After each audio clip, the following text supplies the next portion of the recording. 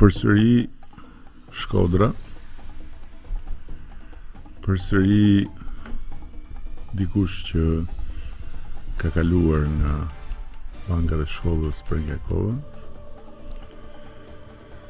Përsëri një zë i dashur, një emër i njohur, një fytyrë e bukur. Jam këtu me Elhajda Danin. Përshëndetje.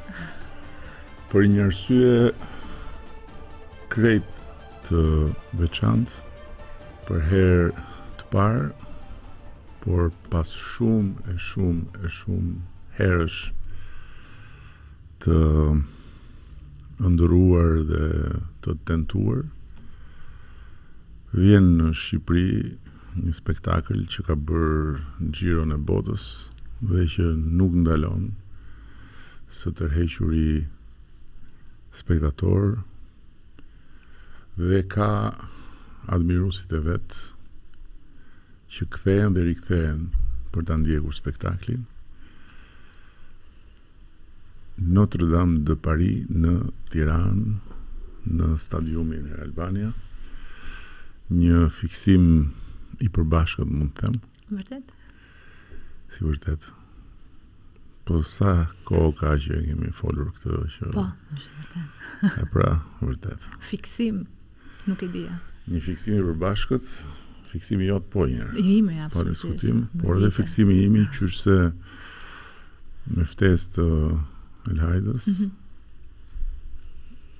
Unë isha në një prej spektakleve dhe m'u duk shumë e padrejtë që atë spektakl mos ta shijonin live Mijëra e mijëra shqiptarë këtu në Shqipëri dhe qysh atëherë bëmë një pakt që do të luftojmë për ta sjellë spektaklin në Tiranë dhe ja ku jemi në vigjilin e spektaklit me Elhajda Danin. Edhe një herë, faleminderit shumë që më ftove sot tu të flas për diçka që unë kam kaq për zemër, fiksim. Edhe janë uh, ditë shumë emocionuese, sepse siç e the është vigjilja, edhe për mua është një ëndërr që po realizohet. Dhe nuk ma merrte mendja kurrë që e shpresoja, si çdo ëndërr që kam pas gjithmonë, por nuk ma merrte mendja që Do e realizonim edhe do kishte këtë lloj pritshmërie, sepse po marrim me të vërtetë një pritshmëri shumë të madhe, një një energji shumë të mirë nga gjithë publiku shqiptar. Dhe kjo gjëja është, kjo është po që është e re. Kjo është diçka që nuk nuk e prisja. Në fakt, Elhaida ti je një person që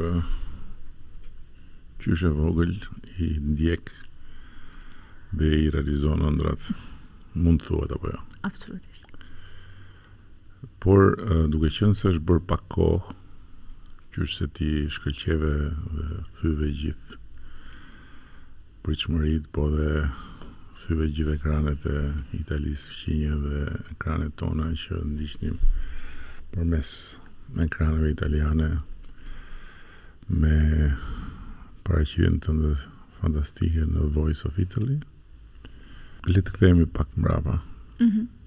Kthehemi pak mbrapa dhe të përpiqemi të gërmojmë pak aty ku mbase askush nuk ka gërmuar deri më sot. Uh, flas për publikun. Mm -hmm. Duke u nisur nga fëmijëria jote. Mm -hmm. Ti ishe një vajzë e vetme dhe je një vajzë e vetme. Po, apo ka pas apo kanë lindur fëmijë të tjerë prindërit. Jam jo. e fundit. se nuk i dihet se nga eksperienca ime mm. nga eksperienca ime mund edhe të ndodhi, kështu që vazhdon ti e vetme. Pse jo, mos u befason. S'kanë lajmëruar të paktën. Mos u befaso nëse ndodh.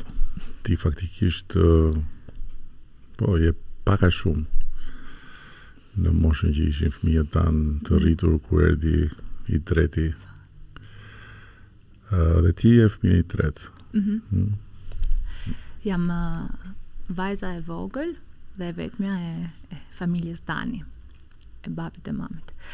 Em çfarë të them për fëmijërinë time? Ë Vazhdoj të jem pak a shumë siç kam qenë edhe atëherë. Jam njeri që në, jam pak introvers, jam pak nuk kam dëshirë të të ndaj shumë energjinë time me me njerëzit e jam shumë xheloze për atë pjesën time të energjisë. Me fjalë kam shumë të shenjtë me kë e ndaj, me kë flas, me kë ndaj eksperiencat e mia. Po mirë, mos kisha ardhë fare atëherë, se erdhe, po, me qejf.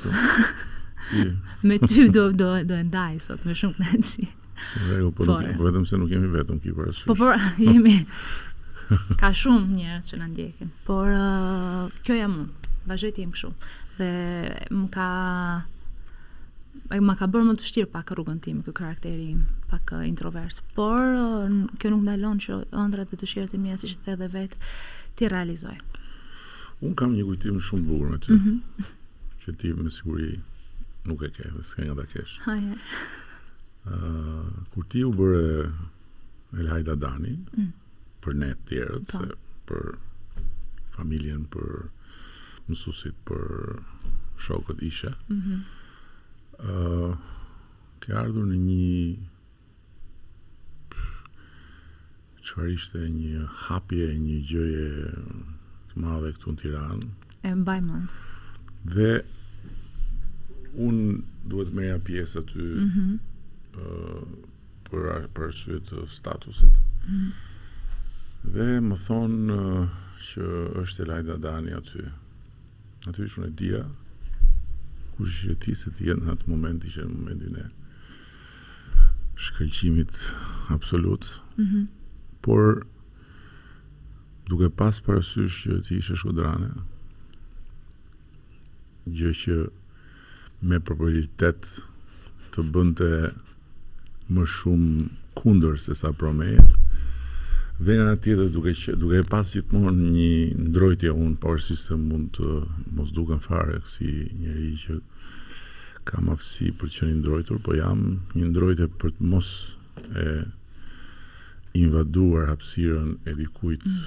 që ka shkëlqimin e vet dhe për të mos u dukur dhe për të mos u bërë si përgjithësisht uh, dhe jo jo jo për faj tyre ose jo pa të drejtë njerëzit uh, politikë janë që mm. përpiqen të marrin sa më shumë nga çfarë ka rreth e rrotull dhe të thithin sa më shumë nga rrezet e të tjerëve. Isha pak i tërhequr, por në një moment të caktuar na janë kryqëzuar vështrimet. Dhe aty unë kuptova që ti në fakt ishe gati të më takoje pa asnjë mm -hmm. problem dhe madje ë uh, Aty e ndjeva që ti s'ishe kundër. Atëherë unë erdha edhe ne u takuam.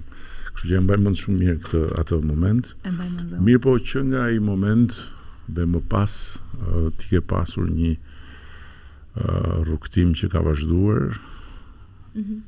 që do t'i kthehem mm -hmm. por përpara kësaj kam marrë këto kam marrë dosjen tënde në shërbimet informative mm -hmm. Dhe aty ka një moment që me gojën tënde ti ke thënë dikur që familja jote është familje patriarkale. Mm -hmm. Ndërkohë që nga kjo familje patriarkale, mm -hmm.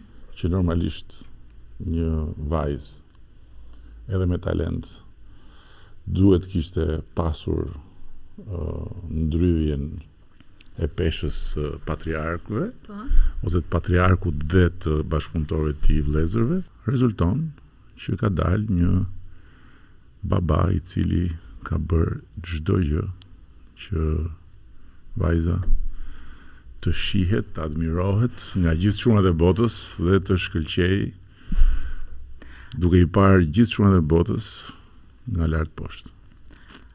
Kjo është e vërtetë. Me fjalë është një ndër ndryshimet më të mëdha të jetës time, sepse kam lindur në një familje patriarkale, siç janë shumica, mund të them, e familjeve shqiptare sot.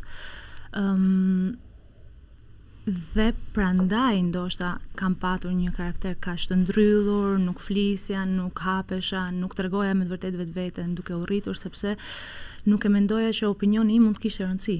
Dhe është një problem që shumë vajza e kanë sot në Shqipëri, jo vetëm, por flas për vendin tim.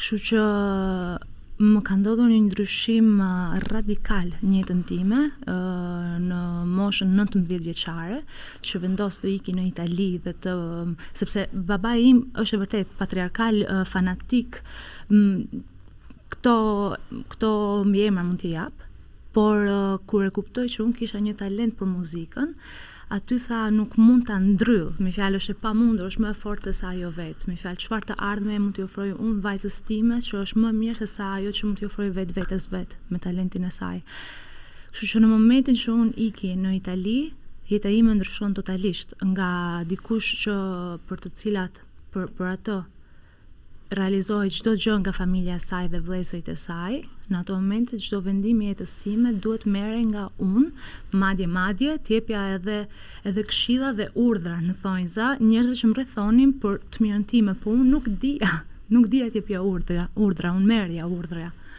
Dhe kjo ishte një gjë që më është dashur pak kohë, vazhdoj të më duhet kohë, ta kuptoj, ta gjestis mirë, dhe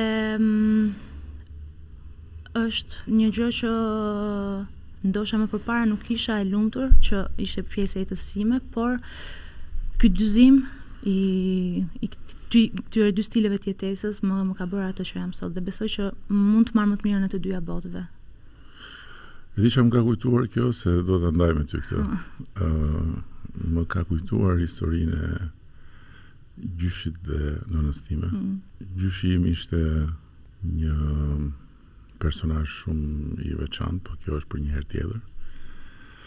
Por ajo që është shumë e çuditshme, ë për duke pas parasysh kontekstin e kohës, ata ishin në Vlorë, në Shqipërinë e viteve 30 dhe Ki parasysh mjedisi patjetër, mhm. patriarkal e të gjitha. Vajzat shumë, shumë, shumë, domethënë larg uh, mundësisë për të qenë uh, të pranuara si djemtë. Mm -hmm. Dhe gjyshi im, donte patjetër të kishte një vajzë, Dhe bëri tetë djem.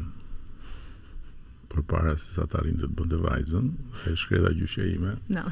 kaloi uh, një pjesë të rëndësishme të të jetës së saj uh, në rini duke qenë shtatzan. Po.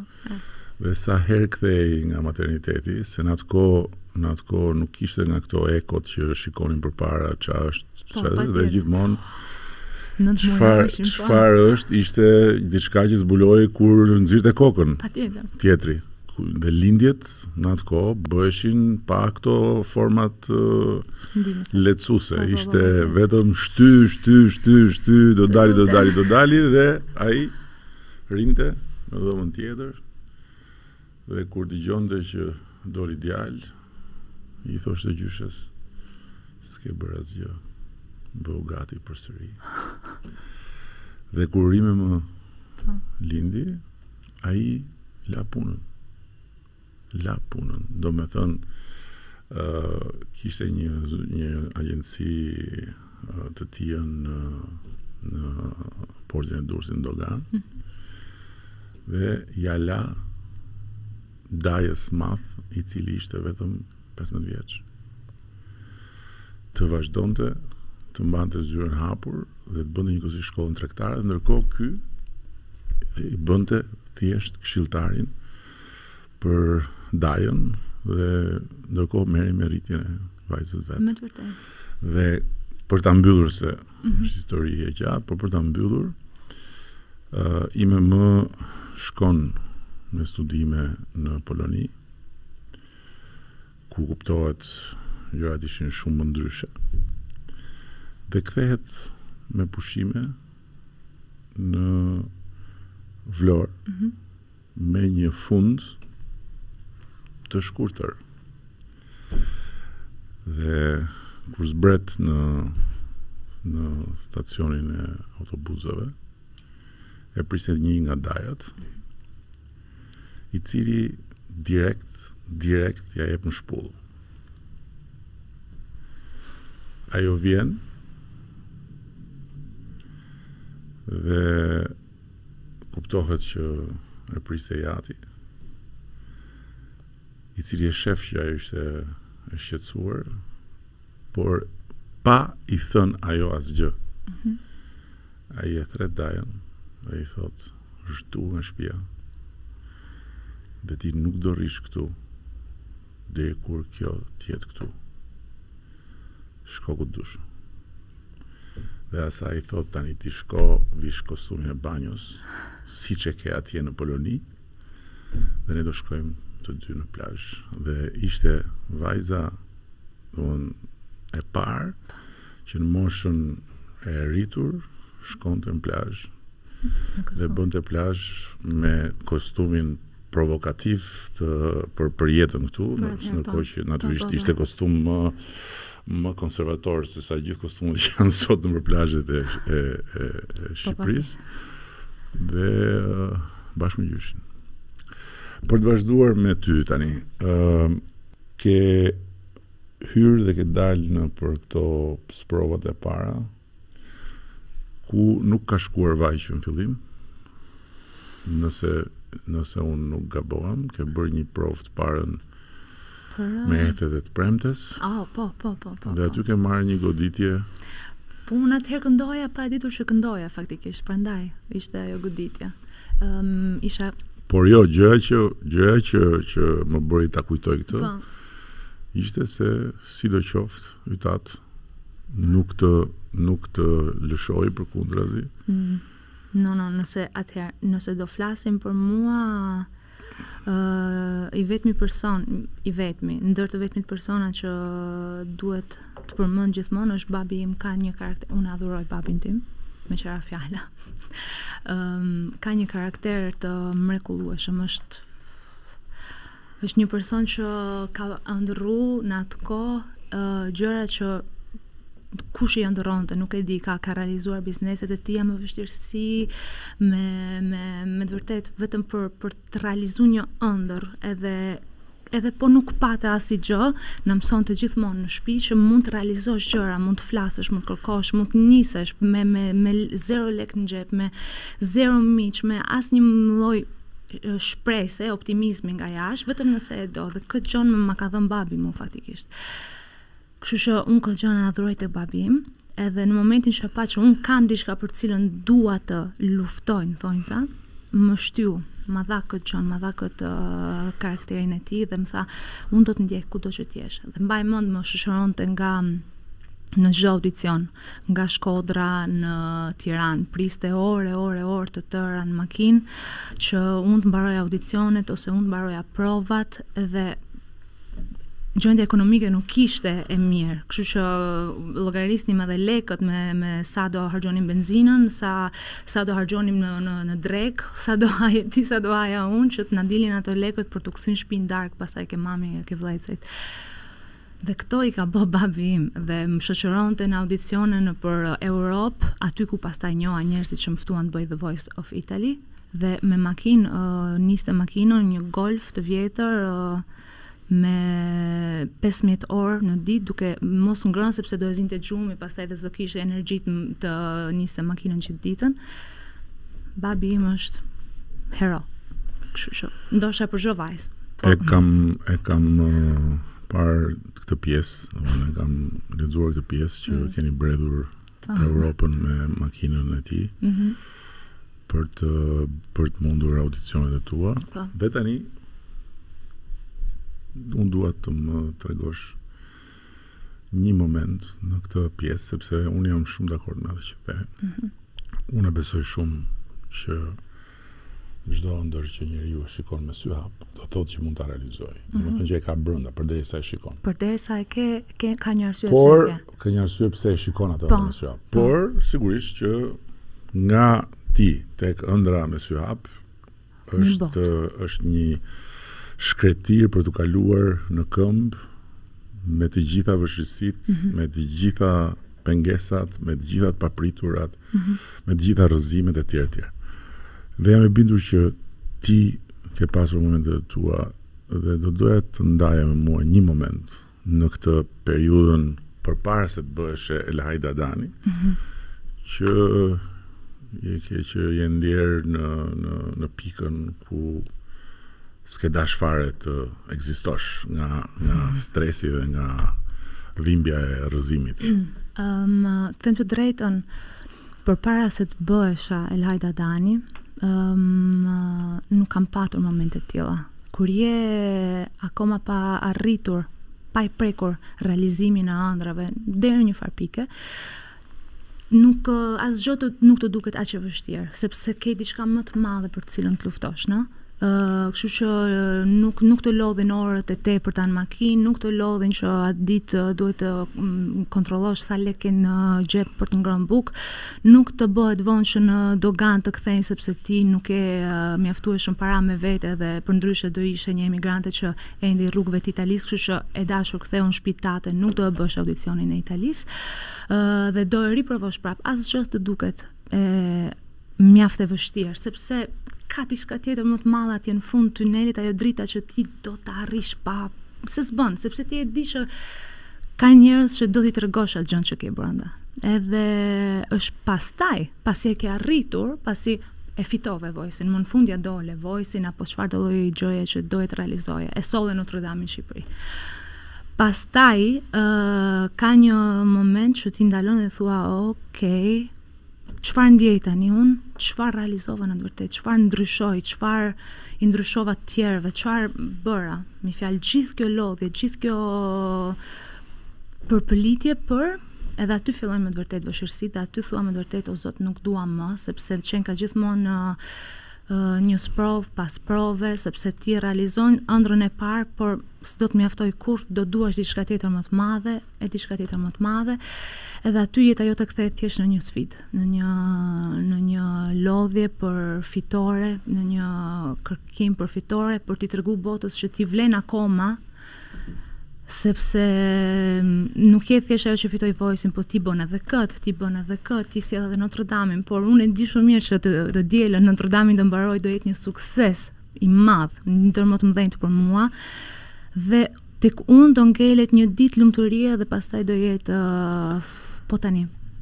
Dhe kjo është sfida më e madhe. Sepse kjo është normale sepse çdo çdo uh, fund sado i lumtur ka një ka një pikë vdekje mm. ku gjithçka mbaron. Mm. Por nga ana tjetër, çdo fund është dhe një fillim, edhe fillimi ka gjithë vështirësinë e vet, mm. sepse mbasi arrin një fitore, përballesh me një zbrasti që askush nuk e kupton përveç teje. Mm -hmm. Dhe me ndjenjën e një boshllëku që nuk nuk përshkruhet dot. Domethënë dhe e gjithë ajo që që ty të rrethon dhe që nga jashtë duket si një, si një privilegj i jashtëzakonshëm sepse je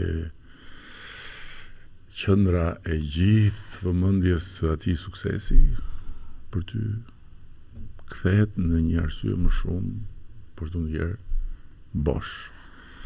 Por kjo është, besoj, diçka që e kalojnë të gjithë dhe mm -hmm. edhe kush më shumë e kush më pak ka pas dhe ka, jam i bindur, po Këto që janë sot do t'i marrin vesh më vonë, po dimë se çfarë ka ndodhur me njerëz me sukses shumë të madh, që mm -hmm. pastaj i ka komplet përpir boshllëku i tyre dhe pastaj nuk kanë mundur më të marrin frymë. Mm -hmm.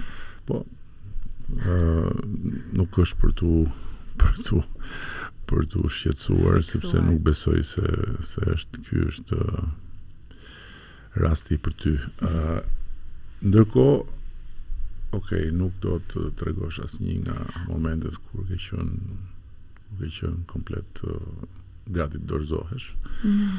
sepse mbase nuk i mban mend oh i mbaj mend po pra na tregon një, ka ca um, një ndër Momente që do do kisha dashur të dorëzohesha është më Bon, nuk e di a kam thënë ndonjëherë këtë. Ë pas fitores Voice-it, kthehemi në Shqipëri me Ricardon, na bëjnë një pritje të jashtëzakonshme, që s'kisha parë ndonjëherë. S'kisha jetuar ndonjëherë se parë po. Ëm, edhe të nesërmen duhet të kthehesha në Romë, ku xhirohej album, fotot e albumit të ri që do nxjerrja me Universal Music. Edhe atë natë Ricardo edhe bashkëshortja e tij, e cila është menaxherja e tij, më marrin, ishim në një hotel në Tiranë, edhe më thonë, ti nesër nuk do shkosh, Nuk do i hapësh telefonin Universal Music, ata presin photoshooting por ti do zhdukesh sepse në të vërtetë nuk e di fare as a mund ta them diçka të tillë po. Too late. sepse në të vërtetë je nën menaxhimin e disa personave në të cilët nuk duhet të jesh.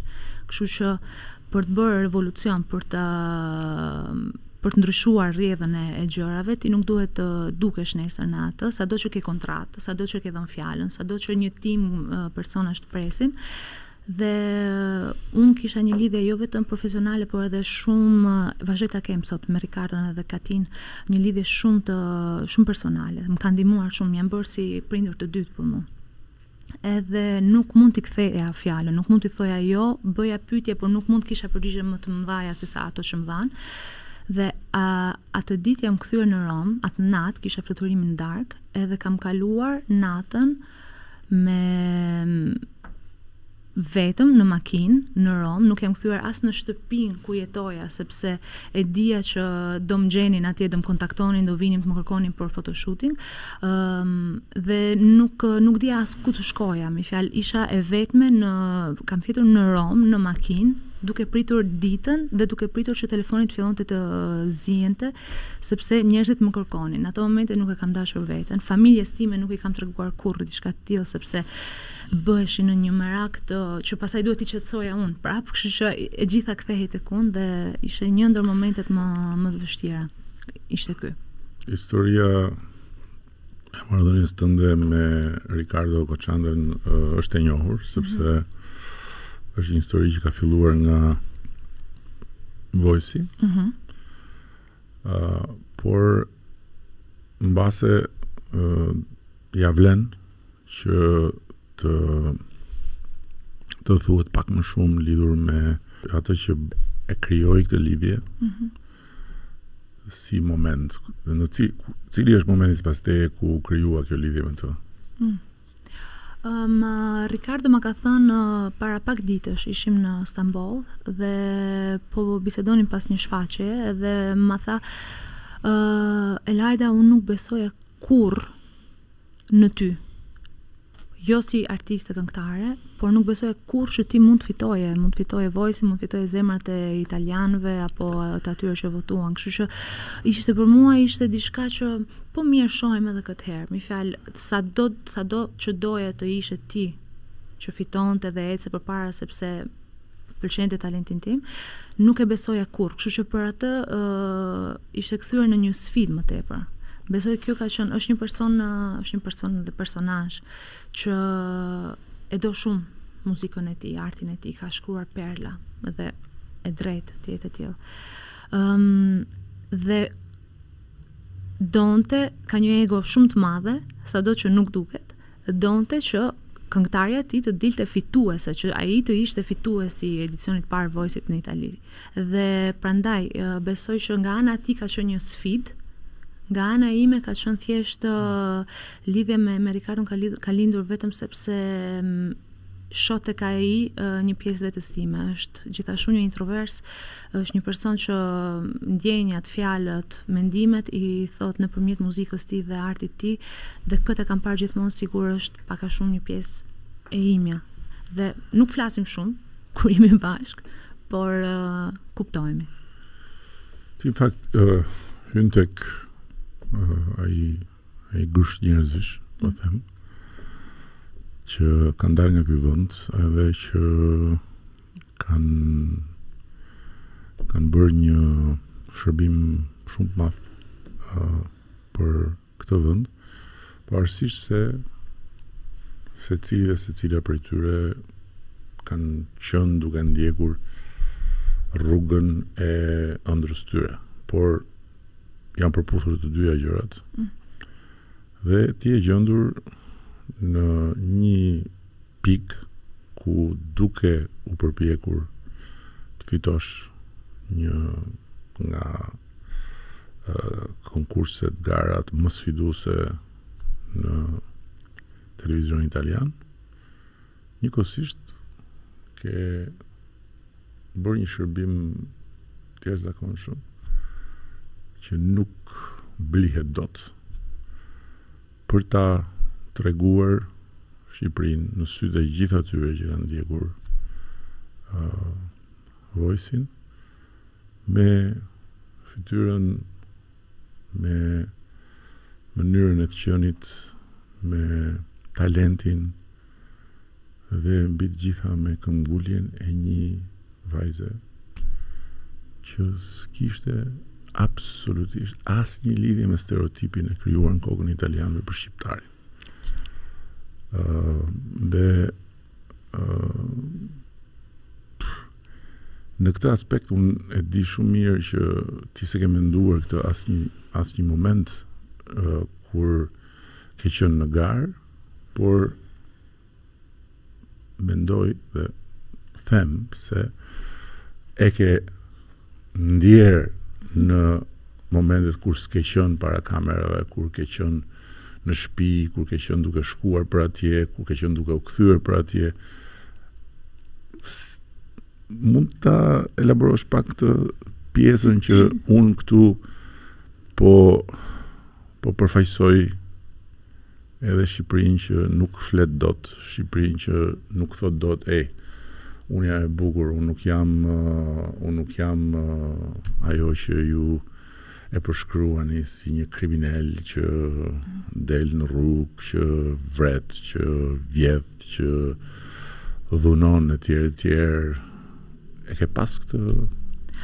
Um, sigurisht kur, kur jam nis për për këtë eksperiencë në Itali nuk ka qenë aspak qëllimi im. Le të themi. Çfarë, çfarë, këtë e thash, po jo flas në në në procesin kur mm. fillove të ndjesh që Në momentet e dyta pastaj kur fillova të të kem vëmendjen, ta ta ndjeja që kam vëmendjen, kur fillova të shoh komente italianësh, shqiptarësh që luftonin në komente për çfarë do një shqiptare këtu, ndërkohë që shqiptarët rebeloheshin dhe thonin po është edhe vendi joni sepse e meriton në, uh, sepse nëse rregullat e emisionit janë të tilla që ajo është aty do të thotë që ajo e meriton të jetë aty dhe ka qenë një një luftë brenda meje që mendoja nuk e meritoj, e meritoj, nuk e meritoj, s'jam italiane, jam italiane dhe në fund të ditës e gjithë kjo lufta në momentin që e kuptova që po e meritoj të jem aty, e kuptova që jo vetëm unë meritoj të jem aty, po çdo shqiptar që punon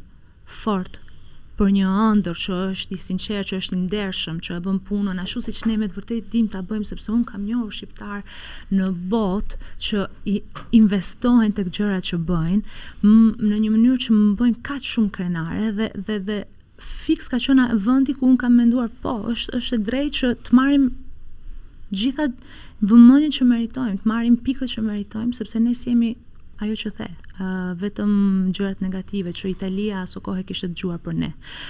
Dhe faktikisht mendoj një ndër arsyet pse unë dola dhe triumfuese dhe është absolutisht e vërtetë është sepse shqiptarët kishin nevojë t'i ndryshonin fytyrën vetes në ato vite dhe gjithmonë edhe edhe sot që flasim e kemi këtë ndjesinë të të të japim T'i japim vetes më më tepër pikë se se se sa mund të na shohë Europa ose e gjithë bota. Prandaj shqiptarët më votuan mua, prandaj shqiptarët votojnë në Sanremo, prandaj shqiptarët, sidomos në shtetin italian, mundohen të të ndihmojnë shqiptarët e tjerë që të ngrihen, që t'i tregojnë italianëve dhe të huajve që shiko jemi më tepër se sa ç'mund të mendoni ju.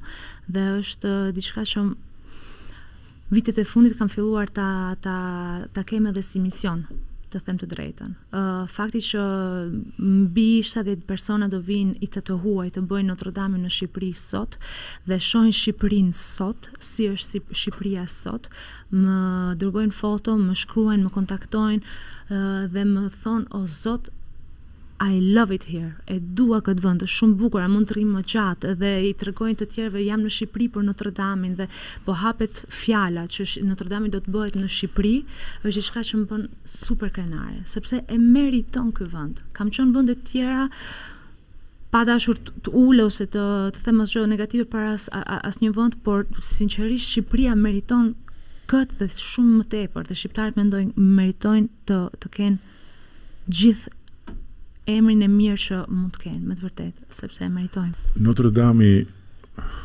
që është uh, faktikisht edhe arsyeja pse ti ma bëre këtë nder që erdhe këtu se po mos ishte Notre Dame, s'besoj se do kishe ardhur të bëje bisedë me mua që të jem që të jem uh, Shumë i sinqert unë. Do po kisha ardhur me shumë po, rëndësi. Po e kuptoj, s'ka problem. Notre Dame uh, është një spektakël i cili ka një jetë shumë të gjatë. Mm -hmm. Dhe faktikisht Nuk e di, se nuk e kam idenë mm -hmm. se nëse do kishte një klasifikim të spektakleve që jetojnë me vite, me vite dhe vijnë vërdallë mm -hmm. dhe mhm. shkojnë, shifen, rishifen e tjerë e tjerë, nuk e di në cilin pozicion do ishte, por është një spektakël me një jetë shumë të gjatë. Mm -hmm. që ka shkuar në sa vende të botës? Ka shkuar në mbi njëzet vende të botës, nëse nuk gabohem, është i përkthyer në shtatë gjuhë të huaja të ndryshme dhe ka fituar Guinness në për për ndjekshmëri nga nga publiku ka fituar, ka fituar Guinness është i cilësuar si një ndër spektaklet më të ndjekur në botë sigurisht hyn ndër uh, shfaqje spektakle si ku diun Phantom of the Opera, Cats, është në në këto nivele të të rëndësishme. Jo, ato po, po, bë, flas, un flas për Europën, në Europë. Në Europë. Un nuk besoj se ka një spektakël tjetër që ka bërë këtë jo. këtë jo. në asnjë mënyrë jo, rrugëtim kaq të gjatë ku siç thash nuk është se shkon një herë Edhe mbaroi por rikthehet e rikthehet e rikthehet e rikthehet dhe njerëzit rikthehen e rikthehen e rikthehen e rikthehen. Domethënë është një spektakël që ka tifozë aty ku ku ku ne ishim bashkë. Mm -hmm. Sa vjet u bë që jemi? Ëm um, 4 ose 5 vjet në Arena di Verona. 5 vjet fiksim. Uh, aty ku filloi fiksimi, uh, un kam takuar rastisht Një çift që e shikonin për të shtatën herë. Këto janë këto janë fanset e Notre Dame. Kjo është magjia. Dhe aty e kuptova, mm -hmm. po pra aty kuptova që është një spektakël që ka fansat e vet. Oh, wow, po. Pra që do ta ndjekin si pjesë të jetës tyre deri kur të jetë vërdall. Dhe do ja trashëgojnë fëmijëve të tyre dhe kjo ka ndodhur. Është njëzet e pesë vjet që Notre Dame ka lindur, njëzet e pesë vjet në nëntëdhjetë e shtatën që ka lindur edhe ka kaluar në gjithë botën dhe ka çifte që atëherë vinin vetëm, vinin çift, vinin me fëmijë të vegjël, sot kthehen fëmijët e tyre ta shohin dhe do ndodhë e njëjta gjë me vite me vite me radhë. Ëm është i vetmi dhe i pari spektakël në Europë, le të themi që ka bërë diçka të tillë dhe Pasi ka lindur Notre-Dame-i dhe pasi ka treguar që njerëzit mund të dashurojnë një spektakël të tillë në këto nivele, shumë autorë të muzikës franceze dhe jo vetëm kanë filluar të krijojnë musical të tjerë për t'iu afruar kësaj magjie, por Notre-Dame-i është habuk më vete, le të themi. Po, po, Kështu që është- jam e bindur që shqiptarët që do të vinë ta shohin, ë, jo vetëm që do u ndikojë ë, jetën e tyre sot për sot, por jam e bindur që mezi do presin që nëse do jetë mundësia të rikthehet sërish në Shqipëri, Notre Dame-i të vijnë ta shohin sërish dhe nëse nuk do kthehet sërish në Shqipëri që do kthehet, e do kthehet, por nëse nuk rikthehet, ata do marrin biletat dhe do ikin në Paris, në New York, në Stamboll, Londër, nuk e di ku të jetë, por vetëm ta shohin dhe të ndjejnë ato emocione që do të ndjejnë të dielën në stadiumin Air Albania. Unë mendoj që që ka qenë në më shumë se 20 vende, kam përshtypjen. Mbase nuk e kemi të saktë numrin e vendeve. Mm. Por mbase e ke të saktë sepse uh, përtej Personalisht mbi 20 vende po, kam qenë i kam prekur vet, por uh, po, ndër vite po, mbase mbase është në këto vende në qytete të ndryshme etj. Mm, mm, mm, mm. Por uh, nuk ka rëndësi kjo, uh, rëndësi ka që Në këto njëzet, nëse janë njëzet, nëse janë më shumë se njëzet, nëse janë më pak se tridhjetë, hyn Shqipëria. Dhe po. kjo është e jashtëzakonshme, sepse unë e di çka kam hequr për ta bërë të mundur këtë bashkë me ty, ti ke hequr më shumë se unë, sepse nuk është e lehtë për ne, uh, për të garantuar një spektakël të këtyre përmasave, mm -hmm. që është një është si të sjellësh këtu një fabrikë mm -hmm. faktikisht. Ajo pamja e gjithë skenave e të tjera. Është një fabrikë që ndërtohet për një për një natë. Për një natë. Por uh, uh, ajo që që që mbase uh, nuk duhesh lënë të ikësh pa e thënë është mm -hmm. uh, Pse duhet të vijë një njeri që nuk është një fans i kësaj lloj muzike mm -hmm. të shikojë Notrdamin? Um, nëse mund të them vetëm me një fjalë, uh, unë koncertet shfaqjet, eventet muzikore të tilla i i përkthej në eksperienca, është si të lexosh një libër. Kur unë lexoj një libër, një pjesë ime ka ndryshuar. Nuk jam më i njëjti njeri. Koncertet janë e njëjta gjë. Shfaqjet muzikore janë akoma më tepër dhe Notre Dame mund ta cilësoj akoma më lart në në këtë renditje, sepse është Treqind e gjashtëdhjetë gradë një një histori dashurie, hakmarrjeje, lirie, kërkon liri. Notre Dame ti sheh një vajzë gjashtëmbëdhjetë vjeçare që është Esmeralda dhe që po njeh veten e vet edhe që po po po po zbulohet, por në të njëjtën kohë rrethanat, jeta e përditshme nuk e lejon të të të rritet, të të jetë vetvetja dhe ajo në atë moshë lufton për liri. Dhe është diçka që sado që flitet për në vitet 1482 është aktuale dhe populli çfarëdolloj niveli, çfarëdolloj shtrese e shoqërisë do dashurohet në mënyrë të jashtëzakonshme sepse të ndryshon jetën dhe ti do kesh siç e thashë më përpara dëshirë ta shohësh herë pas here, herë pas here për të zbuluar detaje të reja se Herën e parë të ka marrë vëmendjen magjia e muzikës, herën e dytë skenografia, herën e tretë kostumet, balerinët, këngëtarët, nuk mbaron asnjëherë. Kështu që nuk duhet humbur për asnjë arsye në botë. Besoj që që që si dëshmitar i, i një spektakli mund ta them që normalisht në të gjitha, në të gjitha shfaqjet e e e artit që nga muzika simfonike deri ke piktura mund të thuhet që ka diçka për këdo. Po. Por ama e vërteta është që jo kushdo ë ka ka afinitetin për ta parë atë diçka. Po. Ndërkohë që Tek Notre Dame-i jam absolutisht dakord me ty. Jo vetëm ka diçka për këdo, po Notre Dame-i ia jep kujtdo atë diçka pa pa, e lë që po e kape mirë, po s'e kape, s'ka problem se unë po vazhdoj jetën. Ë nga pikëpamja e trupës, ë në gjithë këto vite ndryshon trupa apo janë po të njëjtët, po të njëjtët, po të njëjtët? Ëm, patjetër trupa ndryshon, sepse bëhet fjalë njëzet e pesë vite jetë të kësaj shfaqjeje. Kështu që ne jemi trupa origjinale, e vetmja trupë e cila lëviz në të gjithë botën, por për turne në në nuk e di, në Nju Jork mund të kemi disa emra të tjerë që i bashkohen Notre Dame-it dhe për Paris mund të kemi disa emra të tjerë, por janë gjithmonë të vetëm të janë gjithmonë 2-3 artistë që mund të ndryshojnë. Për shembull, ti bën Esmeraldën. Unë po? bëj Esmeraldën.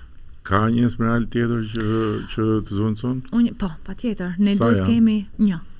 Një është e cila nëse kam probleme, nëse kam nevojë për zëvendësime ose kemi shumë shfaqje gjatë javës dhe duhet të Po nuk është se mund të kesh një Esmeralda New York që të rri pret atje, një Esmeralda Paris. Jo, jo, është patjetër, është jashtë, duke më pritur. Nëse unë nuk e mbaroj intervistën do vijë ajo ta marr. Çfarë është ajo? Italiane? Është kanadeze. Kanadeze. Mm -hmm. Në fund, uh, Elhaida, nuk du të të lë të, të biesh në atë boshllëkun që folëm, po. Okay. Ti gjithë jetën me Notre Dame do merresh? Tamam. Tani, unë nuk do merrem gjithë jetën me Notre Dame sepse edhe vetë fiziku, mosha e, gjithë kjo situata nuk ta lejon diçka të tillë, sepse luaj rolin e një 16 vjeçare dhe le të themi unë nuk 16 vjeçe nuk jam më. Kështu që jo, mos e mos e mos e thuaj këtë. E para e punës një herë se Që të jem unë tani shumë shumë i drejtpërdrejtë. Mm. Je më mirë se ç'ke qenë kur të kam takuar para 5 vjetësh. Më beso. Por më kujtove dikë, mm. nuk e përmend dot emrin. Okej. Okay. Një koleg dhe një mik në këto uh, majat e, e jetës politike, i cili për një kohë shumë të gjatë ishte në krye. Edhe imi po shumë gjatë. Mm -hmm. Edhe një ditë e pys dhe i them ore më fal, sa do vazhdojë kjo historia jote? E më thotë e di shiko, unë kam bërë një gabim. Në kohën kur unë duhet mendoja dhe të përgatitesha për çfarë mund të bëj tjetër, mm -hmm. nuk e bëra këtë gjë. Mm -hmm. Dhe tani jam në një pikë, Që nuk kam kohë të bëj një gjë tjetër, kështu që do vazhdoj të bëj këtë punë. Deri në fund. Në fakt nuk është më në atë punë dhe nuk edhe jam kurioz kur do ta takoj se çfarë do bëjë tani, kështu që. Jo, jo nuk është nuk është plani im, qëllimi im të jem, uh, okay. Ëm në Esmeralda edhe për shumë gjatë. Këtë librin e ke? Një sekond. Ta kam dhënë? Më ke dhënë një libër Është ky? Jo. Apo është? Mos është një libri më tjetër. parë. Do ta jap Po. dhe këtë. Okej, faleminderit. Ëm, por ë, sigurisht nuk është ky plani. Planet janë të tjera, ë, por gjithmonë duhet m- mbajtur brenda derisa të kem një. E, nuk do ta thuash. se- Mirë, për një njeri introvert që nuk i ndan ë, me të tjerët ë, gjërat që që i çmon, edhe për një njeri që është shumë xheloz për veten e vet dhe që nuk jep energji rreth e rrotull, por vetëm thith energji, mund të them që ke qenë sot aq bujare. Okej. Okay. Sepse realisht unë Besoj që jo vetëm unë, por të gjithë ata që na ndjekin kanë marrë energji nga ty dhe shpresoj që të mos të mos na e marrësh me të keq kur të ndjesh që duhet të rikarikosh bateritë sepse ke dhënë shumë energji sot. Okej. Okay. Do e bëj me kënaqësi. Të falenderoj shumë Elhaida, ishte privilegj edhe uroj me gjithë zemër që t'ja marrësh mbrëmjes së së Datës njëzet e tetë maj. Njëzet e tetë majit t'ja marrësh të gjithë kënaqësinë që ti meriton sepse ke luftuar kaq shumë për njëzet e tetë majin dhe ke ke rezistuar kaq shumë pa u dorëzuar që gjërat të bëheshin bashkë që Notre Dame-i të vinte këtu në Tiranë. Kështu që marrsh nga ky moment çdo gjë po bëj kujdes, se sa më shumë të marrësh nga një moment, aq më i madh do jetë boshllëku pas atij momenti. Këtë e di dhe jam gati ta ta vuaj. Faleminderit shumë. Vuajtje të mbara. Faleminderit edhe për ty. Kjo ishte një pjesë sepse askush Asnjëherë nuk do i marri vesh të gjitha për Elhaida Danin, po një pjesë e uh, yllit që prej shumë vite shkëlqen në skenën botërore dhe që është gati të shkëlqej më shumë se asnjëherë nesër. Nesër. mbrëma ë uh, për të gjithë ju. Kështu që kush i ka marrë biletat është me fat. Kush nuk i ka marrë akoma, nëse gjen ndonjë biletë, le ta rrëmbejë fatin dhe mos e lërë që ta braktisë.